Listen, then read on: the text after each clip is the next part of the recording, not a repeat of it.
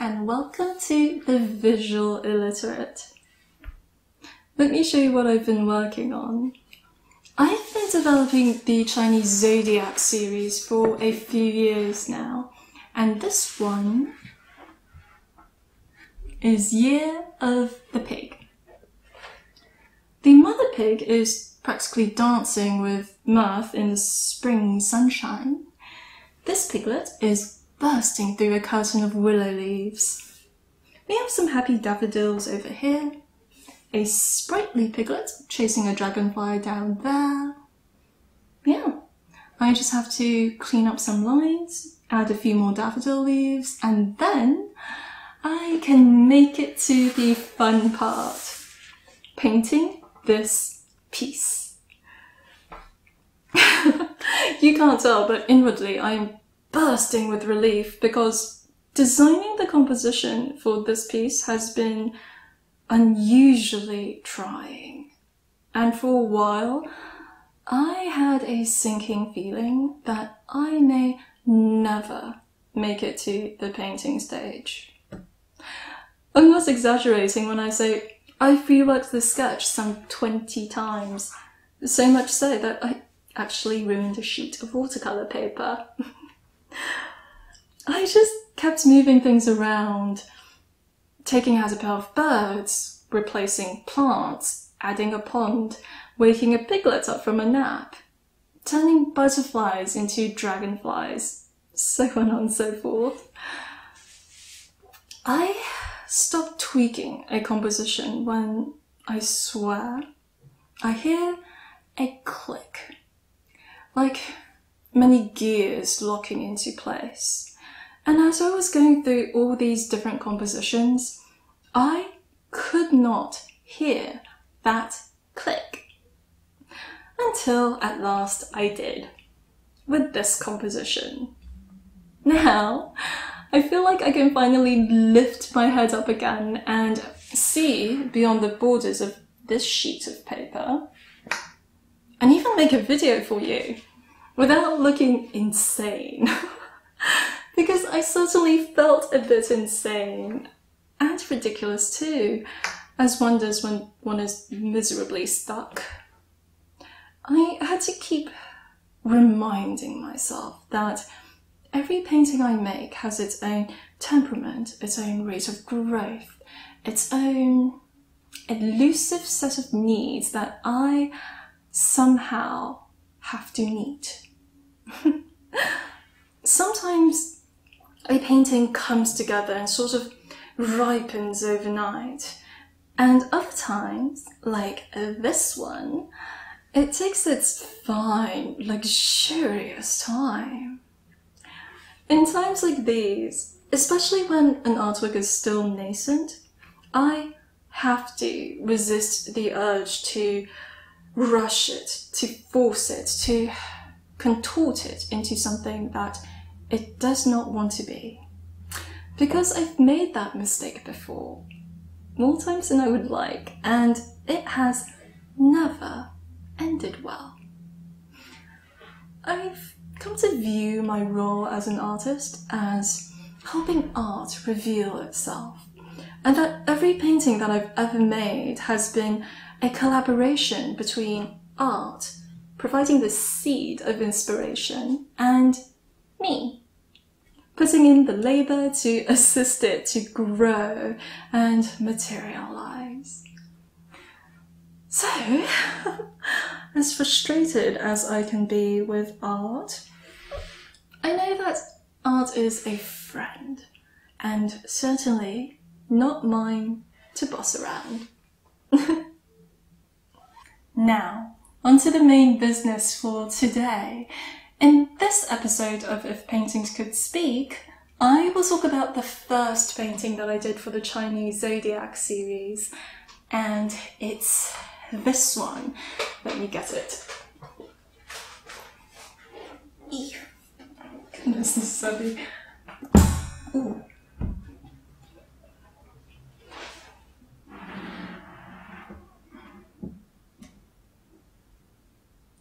Year of the Monkey. I feel like I'm being dwarfed by this painting. Uh, well, hello again. I'll walk you through the painting. The monkey depicted here is called the spectacled langur because they have white discs around their eyes that look like round-rimmed spectacles set against a face of black fur. I was especially surprised by the contrast between fully grown spectacled langurs who aren't purplish blue like I've painted here, but a mix of greys and blacks, and their golden, luminous babies. I knew I had to paint them because that colour contrast was just too absurd and fetching to pass up. And they made me smile. As you can see, the mother langur has a more sober, knowing, determined look, fitting for the wise and the spectacled, as she contemplates the old year past and the new year ahead. On the other hand, the baby langur beams with a full face of sunshine and innocence. Here's a note on colour. Red and gold are deemed auspicious colours, whereas black is definitely not. While the baby langur was a perfect nod to the traditional taste for gold, I did have to take some artistic license when it came to the mother langur. Flanking the langurs are peonies, so well loved in Chinese culture for their grand and stately appearance that they have been crowned the king of flowers. Reaching full bloom in spring, peonies are thought to bring blossoming wealth and blessing. Fluttering onto the scene are butterflies who aren't there just for show. You see, many Chinese motifs acquire their significance owing to puns. In this case, the word for butterfly is hu die, and the word for good luck and fortune is fu. Since hu sounds like fu, Butterflies have thus become the bearers of good luck and fortune. I made sure to depict the butterflies as arriving into the painting because obviously it seems like poor judgment to have the bearers of good luck and fortune fly away. In the background is a lattice made up of the Chinese character for spring. It's custom to write that Chinese character on a piece of red paper to paste on your front door, but upside down. That could be explained once again by puns. The word for upside down is dao, and the word for arrive is dao. So, by pasting the word for spring upside down, means that spring has arrived. Oh, and I incorporated the symbol for money into the Chinese character for spring. Old Chinese coins used to have holes in the center to allow you to string your coins together to fasten about your waist for you to carry about. If you look at the lattice of springs diagonally, you'll notice that the coins are rotating because the square hole in the center changes from square to diamond to square to diamond and so on. And that was my subtle way of showing wealth cascading into the painting. Moreover, I designed the character for spring to look like a flower, just to make the butterflies happy. To put it simply, the Chinese Zodiac series was my attempt to reimagine and modernize the traditional Chinese New Year aesthetic. One that harmonizes cultural tradition with the vibrancy and the delicacy of spring.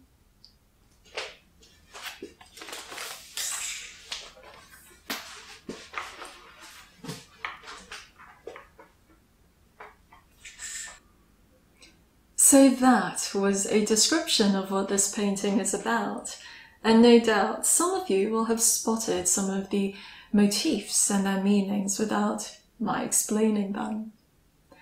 However, what you cannot know just by looking at the painting alone are the stories hidden within. When I look at the painting, it takes me back to the beginning of 2016 when I was still caught in my early years as an artist and feeling perplexed as to which direction I ought to take my art. I had spent the better part of the year before throwing myself into intensely personal paintings that were, in essence, a visual diary of my turbulent emotions.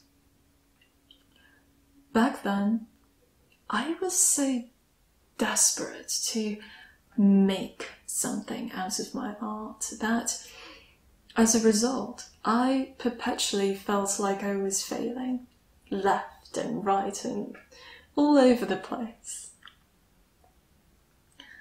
So, 2015 became the year of confronting, but also comforting those fraught emotions. During that time, my world turned blue. So my paintings turned blue. That self investigation turned out to be invaluable, yet absolutely exhausting. Entering into 2016, I knew that I needed a break from that kind of art and turn my attention outwards. Which led me to wonder well, what do I paint now? I soon found out that others around me had much to say on the matter. First came the comments. So all your paintings are blue, huh? Your paintings look sad and depressing. Then came the advice. Perhaps you should switch up your colour palette, or your paintings are starting to look the same. Portraits are a bit scary. How about painting more animals? People like paintings that make them happy. Do something cute and colourful. Perhaps you should paint a more popular subject matter, something instantly relatable. Your paintings require too much explanation. You are asking too much of your viewers. Think advertisements. Now, I am not decrying those suggestions because they were fair and well intended. But I lacked confidence back then and everything stung. This sudden influx of advice, all seeming to say, paint anything, but what you've been doing had the strange effect of alienating me from myself. All of a sudden, I felt like I couldn't depend on myself to make good decisions. Finding myself in a bit of a pickle, as usual, I try to write my way out of it. And here are the notes that I made in the beginning of 2016. And I've copied some of the excerpts into this lovely notebook to share with you. In this first excerpt, you'll see my initial and more emotional response to the problem. Mm.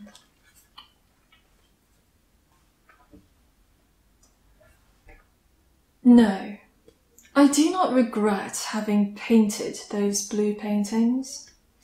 They were paintings born out of a need reflections of my soul, searching, grasping, trying to outlive the poison of so much doubt, contempt, fury, bitterness.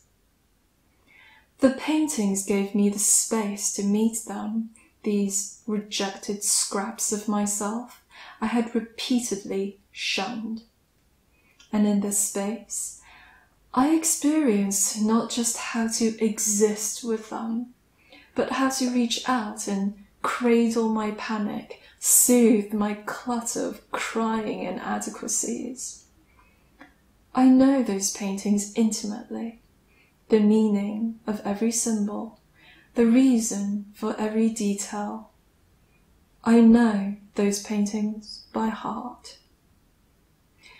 However, it's one thing to connect with a painting personally, and quite another to view it through other people's eyes.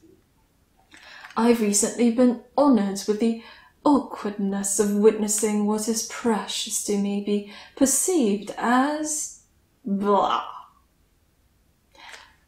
Did I expect understanding? Certainly not. Had I hoped for a morsel of interest, just enough to see through the blueness, perhaps even detect a story arc of growth? Why, stupidly, yes.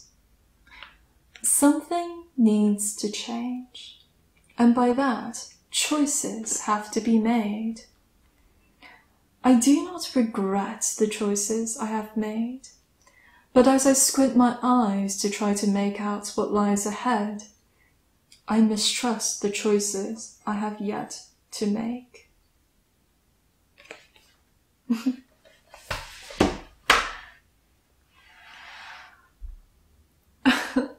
After giving myself a few days to feel less weird about the situation, I try to tackle this problem again and in the second excerpt, you'll see a more level headed attempt at trying to understand my problem.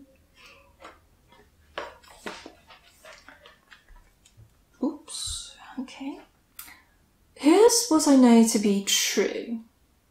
An openness to critique can point to shortcomings that you may otherwise miss recommend realms of knowledge that you may otherwise walk past, propel actions that you may otherwise have left unstirred.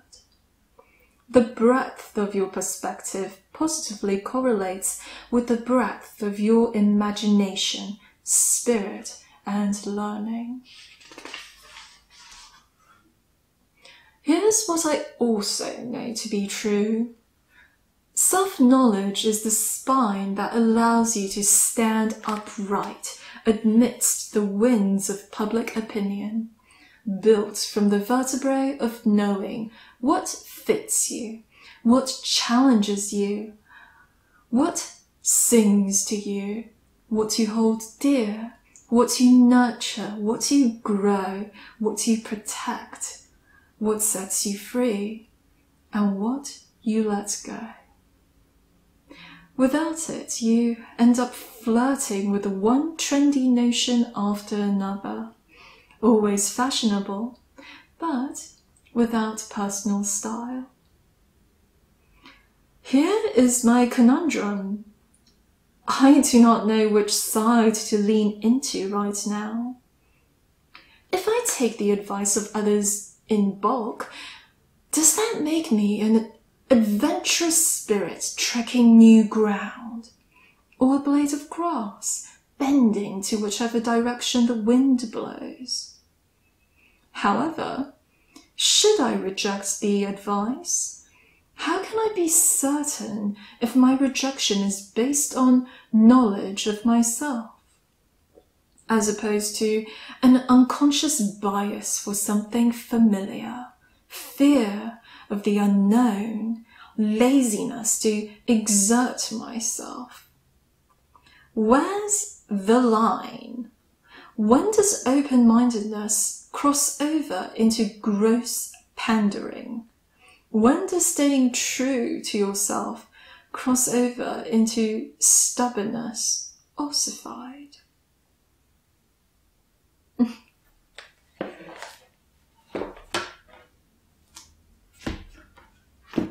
Eventually, I realized that my writing was doing a fine job expounding my problem, but doing very little to actually helping me solve it. So, I decided I should just pick a side, assume it's right, go with it, let my actions play out, and see where they take me. I figured since I've already spent a year creating personal pieces, now was the time to shake things up and try something new.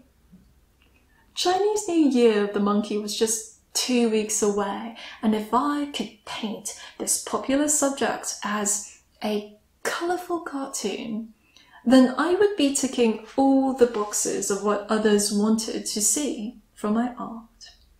So I got down to work. I remember approaching this painting almost like a paint by numbers because I was keenly aware of this list of things that I needed to fulfill.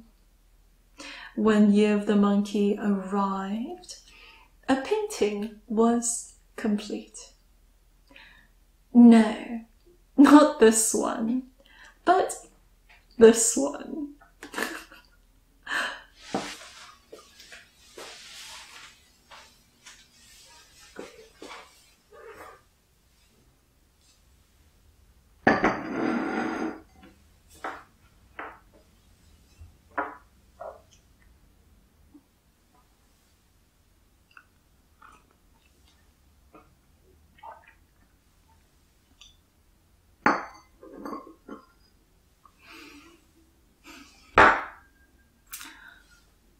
I still can't quite believe that I am showing you this painting.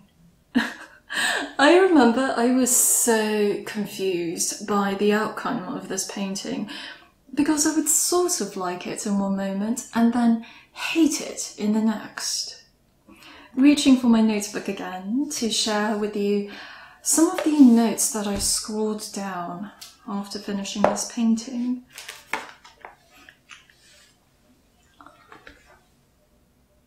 This painting has all the elements of what I had set out to do. It has a clear subject with popular appeal. It has colour. It is festive. The monkeys all have big heads with big smiles and small round bodies, as cute cartoon characters do. Staring at this piece, I see that, technically, everything pretty much went according to plan. But good grief, does this painting look wrong? I swear, I'm getting that feeling I do when I come across a Hello Kitty knockoff and notice that her eyes are slightly too close together and her torso is a tad too long. when I finally resigned myself to the fact that this painting did not go well, I jotted down these few lines. This is why I trust art. Art will not lie to me, nor will it take any of my lies, even if those lies are served on a colourful platter and all dressed up in sweet smiles and pretty eyes. This next excerpt gets at what went wrong in my approach. I think I engaged only my brain for this painting. I drew plans, set parameters, laid out goals, and made a point to leave my soul to hang on a cage rack because it wouldn't stop nagging. Making this painting feels like I had carefully made a nest of tinder, framed it with kindling, stacked on the firewood, and in the last step, forgot the match. I didn't bring the fire, so what I made couldn't catch light.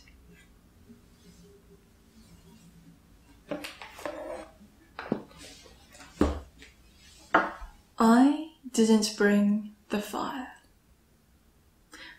That stuck with me because it showed me that the problem wasn't with the advice that I received. The problem was with how I acted on that advice, and I had a bad take. When I accepted the advice of others, I accepted it without tailoring it to fit me. Instead, I forced myself to fit the advice despite recognizing that it wasn't resonating with me emotionally, nor was it inspiring me artistically. What was missing was a larger unifying idea on which to hang these different suggestions. And that missing piece could only come from me. And it could only come from that part of me that harbours genuine curiosity, honesty, and delight. And I could only access that part of me by giving it a voice and that voice was the first thing I shut up when I started this painting. I jotted down this sentence on a post it. Whatever words I receive from others, I have to first listen to those words, then restate them in my own voice, and finally add to them words of my own. I remember sitting there and feeling like this was quite the revelation, albeit an embarrassingly obvious one. As I was pondering the sentence, thinking how I could apply it to future projects and how it would have changed the outcome of some of my past endeavours. I was surprised to find that I already knew how to do this as a student without even realising it. Back in school, there were numerous times when I was handed art assignments that I considered to be quite dumb and dull. but that was rarely a problem because I instinctively pivoted every prompt towards my interests and made that prompt my own, with or without approval from my teachers. As a result, I usually ended up with something that I liked and enjoyed making. I elaborate on this change in my temperament here in this excerpt. It is strange to be reminded of the fiery and confident artist I was as a student. I had authority figures to work off of then, be it working with or against them. My teachers would nonetheless stand like walls I could throw ideas on. Judging by how those ideas bounced back, I could not only make decisions quickly, but also stand by them firmly. However, now that I am the authority who is calling the shots, I am stuck in this weird position of having to objectively critique my work and fervently support my creative whims. Wearing this new coat of authority has biased me towards giving its opinions much more credence than my artistic voice.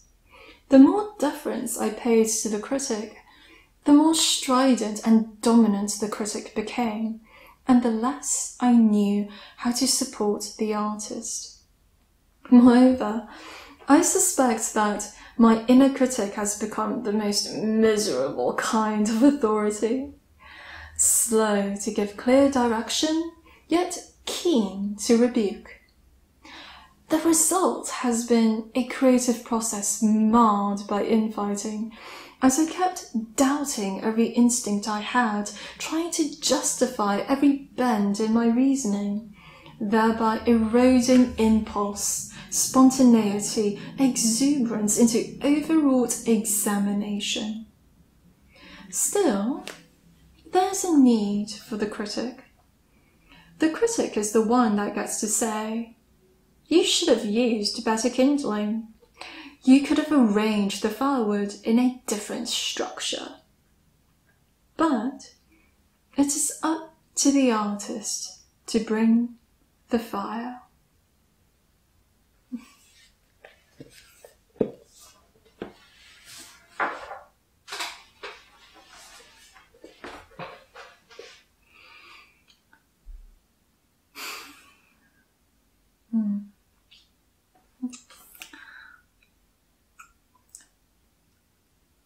By the time I had realized, well, all of this, Chinese New Year had long come and gone. But I was like, this cartoon painting cannot be my final answer to this challenge. I have to try again. This time, I'll express the Chinese zodiac in my artistic voice.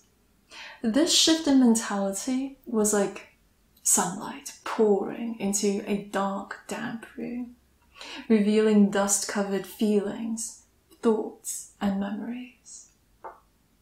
The first feeling to arrive was just how much I adore spring. It's my favorite season. I can Feel the land awakening, see fresh pastel colors returning, and there's a gentleness, a sweetness in the air, mingled with this underlying trill of new life. Then came my fascination for wildlife. I've always found the dignity, charm, and resilience of animals to be a constant source of wonder. So I saw this painting as an opportunity to spend a few merry afternoons reading about different species of monkeys. Oh, and the structure of a butterfly wing. Soon, my childhood memories of celebrating Chinese New Year emerged. And I recalled with a few chuckles just how unnerved I was as a child by the festivities because my senses were so overwhelmed. Firecrackers crackling like whiplashes, incense smoke rising and stinging my eyes and my nose, temples swarming with people, red decorations that were too red, and gold that shone of plastic. There were times when my little self would escape to a corner of a room, wishing, why can't we just all sit under a tree and look at a flower or some birds? Please? Ah. However, weaving its way through these childhood memories was a thread of newfound interest in the history, significance, and mythology of Chinese New Year, an appreciation that I gradually acquired later in life. Last but not least, coursing through these different layers of ideas was a distinct desire to harmonize tradition with nature in a fashion that honors both. And just like that, I was eager and ready to make this new painting.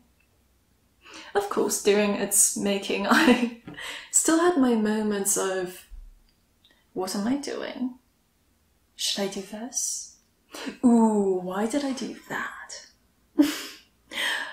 Nevertheless, I was reassured by the knowledge that I started this painting from a good place.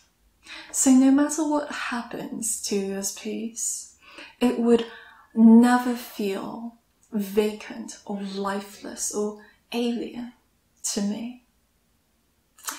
That is the sentiment I still hold on to for all the paintings I have made since then. Reading my notes from 2016, not just the excerpts that I've shared with you, but the stack of notes that I showed you earlier, what jumped out at me the most was what a lack of confidence did to me. The most prominent of which was how swiftly it narrowed my vision. That narrowing of my vision meant I would mistake for clarity what was in fact rigidity in my thinking. So, when I was presented with bad options, I would trap myself into believing that I had to pick a side or I had to choose the option least bad. Mm. I think a key difference between who I was then and who I am now is that now I can look at bad options and have the confidence to say, no, thank you. But none of these will do. And that's okay, because I will come up with something better.